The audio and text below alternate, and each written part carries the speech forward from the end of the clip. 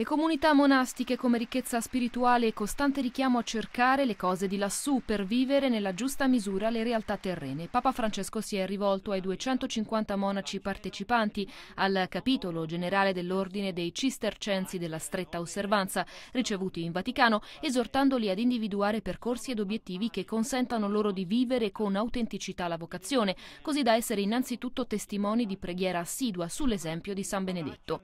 Si tratta di essere non dei professionisti in senso negativo,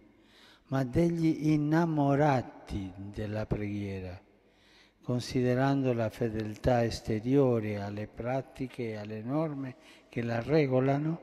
e ne scandiscono i momenti non come il fine,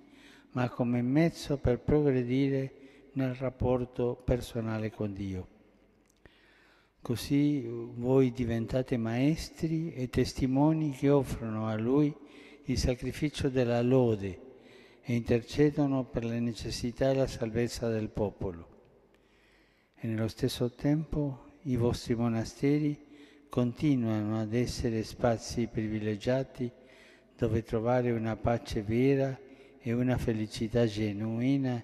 Altro punto su cui ha insistito il Papa è la sobrietà di vita, fondamentale nell'attuale contesto culturale che troppo spesso induce al desiderio di beni effimeri e di illusori paradisi artificiali. Infine la carità nell'unità, paradigma di ogni famiglia religiosa che voglia vivere in un clima di fraternità. Il vostro ordine è un dono fatto da Dio alla Chiesa, ha concluso il Papa, chiedendo ai cistercensi di perseverare nella fedeltà a Cristo e al carisma originario.